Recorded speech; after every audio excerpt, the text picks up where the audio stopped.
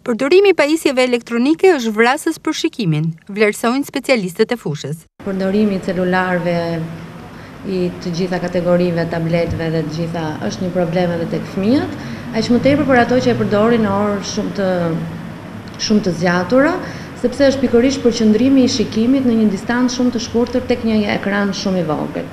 Dhe përdorimi në orë të zgjatura Tek gjithë fëmijët që neve na vijnë për kontrolle dhe për to, kemi zbuluar dhe raste me patologji të ndryshme të refraksionit, i quajmë ne, qofshin këto miopitë, hipermetropitë apo dhe astigmatizma. Kështu që një vizitë tek okulisti, sa më herët, do ishte shumë mirë. Vizita e parë realizohet që në momentin e ardhjes në jetë, saktëson doktoresha e shkencave në neurooftalmologji, Mjekja okuliste Ledja Balla. Është thënë vërtet që vizita e parë bëhet në moshën pesë vjeç, por në fakt nuk është e vërtetë. Vizita tek okulisti bëhet që në momentin e lindjes dhe kryhet nga neonatologu në fakt.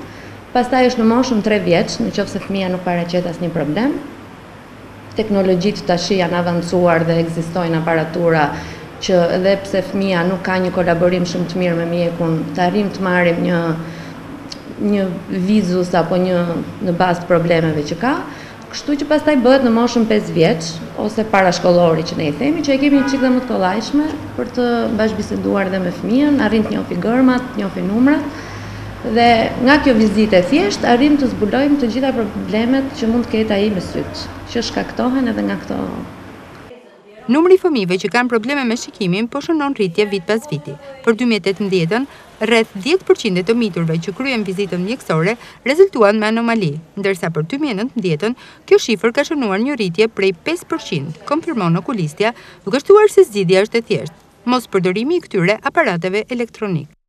Nga viti në vit, të paktën tek kabineti im, unë shikoj që ka një rritje të fëmijëve me probleme në sferën e okulistikës. Fare e thjeshtë, mos ia lejojmë telefonin në përdorim të fëmijëve, as tablet, as telefon.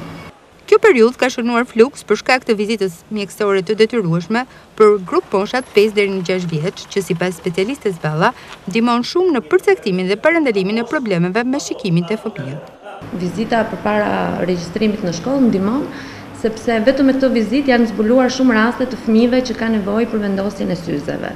Dhe sa më shpejt të zbulohet kjo, aq më mirë është tek fëmijët, Sepse për mos me u për të mos t'u instaluar atë që ne e quajmë ambliopi ose në gjuhën e popullit që është ai syri dembel që në qoftë se nuk zbulohet që në moshat e vogla që është katër pesë qoftë edhe tre vjeç atëherë do qëndrojë një sy dembel për gjithë jetën.